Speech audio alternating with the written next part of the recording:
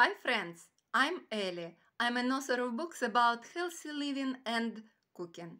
Recently, I have seen many videos on making Reuteri yogurt.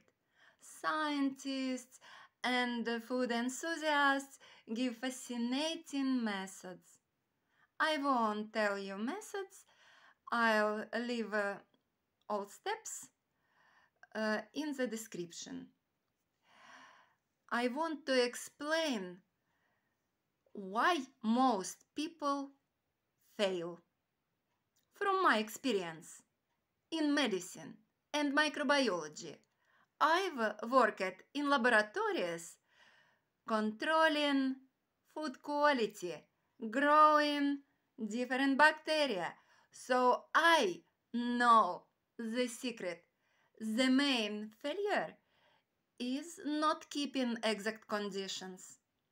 Take fatty milk, boil it, cool to 37 degrees centigrade, add inulin, or you can add flax seeds or sesame seeds and uh, reuteri probiotic. Keep milk in a yogurt maker only in a yogurt making given constant temperature for 36 hours, not longer, not less. Some people think that leaving milk near a gas cooker is enough, but it's not. It's a mistake. Eat yogurt daily for 30 days and you will notice difference, especially if your microbiome is imbalanced.